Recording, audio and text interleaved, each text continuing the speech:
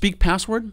This is a very unique feature. Android with iOS 4 has spent a lot of time uh, working with those who are visually impaired to be able to not only set up the device if you have a visual impairment, um, you can do that completely uh, without being able to see the device. But also, all aspects of security and usage really have incorporated the idea of vision impairment.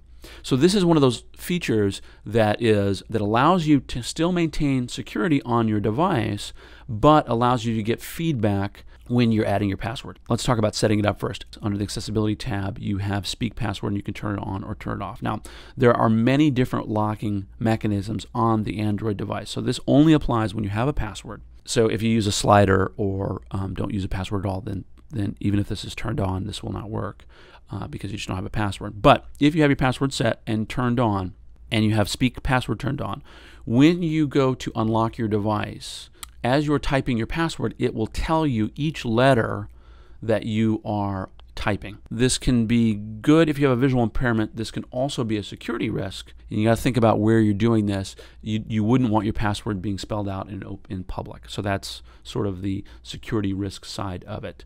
Um, so you get the auditory feedback of the password, but potentially other people can hear it.